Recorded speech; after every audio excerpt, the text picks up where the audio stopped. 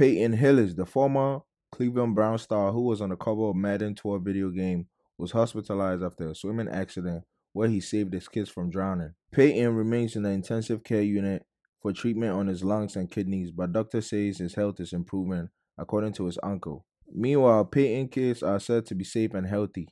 He was in Florida when the accident happened, according to reporter Alyssa Orange, who says he was helicoptered to the hospital and remains unconscious in the ICU. Pictures of the scene following Peyton Hillis' swimming accident showing lifeguards and medical professionals tending to the former running back on the beach while waiting for additional help to arrive.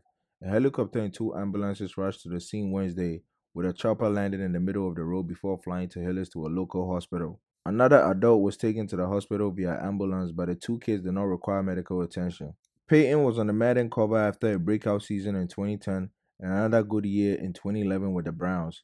Hillis rushed for 1,177 yards to go with 477 receiving yards as a running back in 2010 and scored 13 total touchdowns. He followed with 717 total yards and 3 touchdowns in 2011 and they made it to the Madden 12 cover, being voted in by the fans. A seventh round pick out of Arkansas in 2008, Peyton played in 81 NFL games over eight seasons with the Browns, Denver Broncos, Kansas City Chiefs, and New York Giants.